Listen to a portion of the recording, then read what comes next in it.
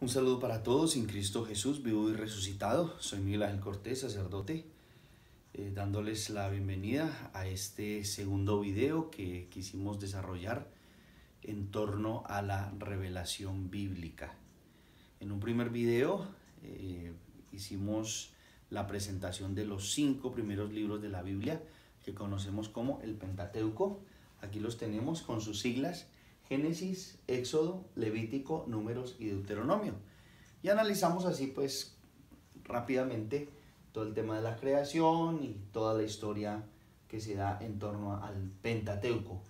A partir de Génesis 12 empieza la historia del pueblo de Israel, nace allá con la vocación de Abraham, luego viene el hijo de la promesa, Isaac, luego viene Jacob, y Jacob tendrá 12 hijos, eh, lo dijimos que Jacob pasó a llamarse Israel. Y entonces, 12 hijos, pues de allí nacen las 12 tribus de Israel.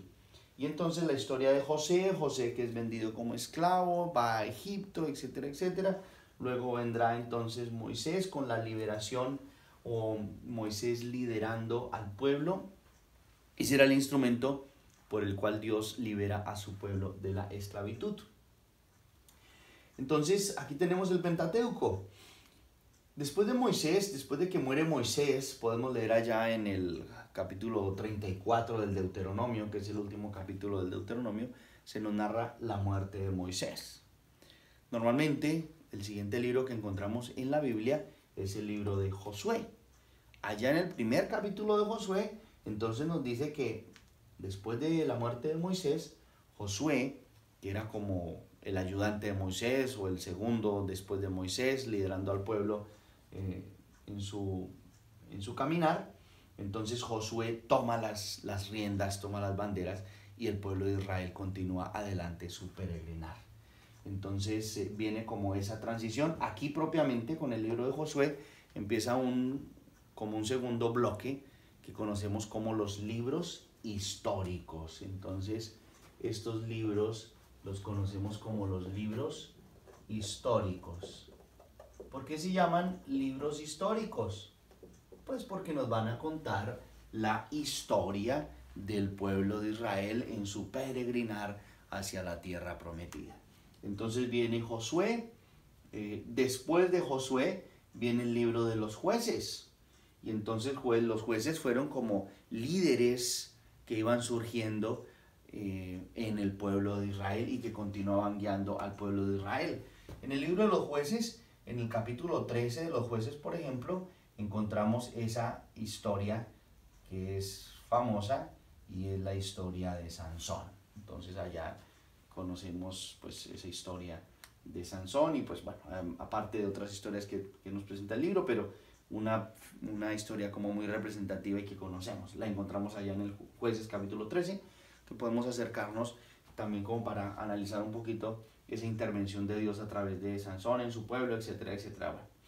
Después de los jueces encontramos el libro de Ruth, que pues Ruth, por ejemplo, Ruth, Esdras, Nehemías, Judí, Esther, fueron personajes que sus historias quedaron consignadas eh, en la Sagrada Escritura y pues eh, hacen parte de todo ese contexto histórico de Israel. Entonces el pueblo de Israel continúa caminando. Aquí aparece el libro 1 y 2 de Samuel. Luego viene eh, el libro de los reyes. Entonces aquí vemos el caminar de Israel.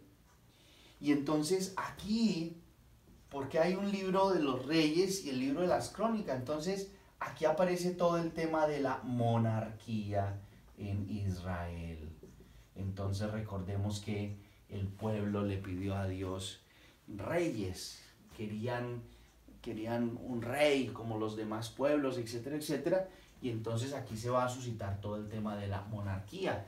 Entonces recordemos que la cúspide de la monarquía, entonces aquí como que los inicios aparece la figura de Saúl, aparecerá aquí David y luego vendrá Salomón, que es el culmen o la cúspide de la monarquía en Israel. Entonces, por eso los libros de los reyes. Tenemos uno y dos de crónicas, y entonces, como su nombre lo indica, pues es una crónica. Entonces, es como una historia muy rápida, es una historia muy breve. Entonces, en el libro, los libros de las crónicas vamos a encontrar un espacio de la historia o, un, un tiempo en la historia mucho más extenso, pero contado de una manera mucho más rápida. Eh, luego vienen los libros de Esdras, Nehemías, Tobías, Judí y Esther, que son libros también pues que continúan contándonos esa historia del pueblo de Israel. Por último, tenemos los libros 1 y 2 de Macabeos. ¿Por qué se llaman los libros 1 y 2 de Macabeos? Porque pues la, eh, son los libros que están como eh, contándonos esa historia en torno a los hermanos Macabeos. Entonces fueron como figuras bien representativas del pueblo de Israel en ese caminar. Entonces, vamos continuando en la organización de nuestro esquema. Entonces vamos aquí como armando ese esquema, esa línea de la historia del pueblo de Israel. Entonces vemos aquí todo este recorrido que se va haciendo y entonces aquí vamos eh, adelante con la historia del pueblo de Israel. Llegará un momento en donde vamos a poner acá, vamos a pensar el año cero, porque es el nacimiento de Cristo. Entonces toda la historia se va a ir encaminando hacia este eh, año del nacimiento de Cristo. Entonces, este es el bloque de los libros históricos. Y entonces nos han contado, nos cuentan la historia del pueblo de Israel. Muy bien, de una manera muy breve, como siempre lo insistimos, queremos dar elementos básicos, sencillos, porque queremos como comprender un poco el horizonte del contexto de la revelación bíblica.